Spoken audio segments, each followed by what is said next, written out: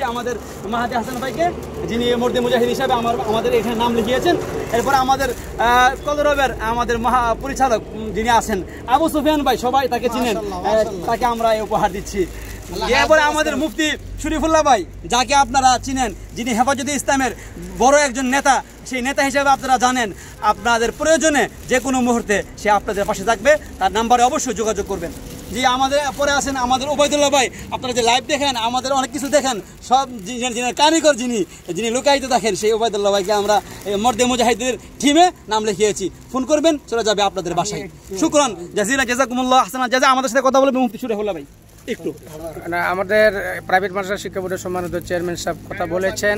আমরা আপনাদের কাছে দোয়া চাই, আমাদের যেন এই লাশ দাফন করার জন্য যে টিম গঠন করা হয়েছে, সেই টিম যেন আল্লাহ কবুল করেন এবং সকলেই যেন আমরা যথাযথভাবে আপনাদের খেদমত করতে পারি। এই আশা এবং প্রত্যাশা, দোয়া নিয়েই আজকে এখন আমি এখানে শেষ করছি। আসসালামু আলাইকুম রহমতুল্লাহ আসসালামু আলাইকুম রহমতুল্লাহ বরকাতু।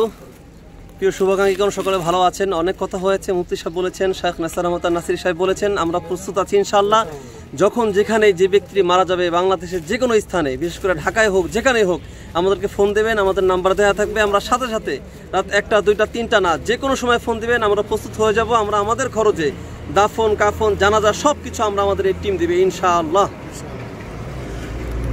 আসসালামু আলাইকুম রহমতুল্লাহ বরকাতু প্রাইভেট মাদ্রাসা শিক্ষা বোর্ডের উদ্যোগে যেই আয়োজন করা হয়েছে, যে বাংলাদেশের যে কোনো প্রান্তে যদি কোনো এই করোনা আক্রান্ত হয়ে যদি কেউ মৃত্যুবরণ করে তাদের জানাজা দাফন কাফনের জন্য আমরা তৈরি আছি ইনশাল্লাহ।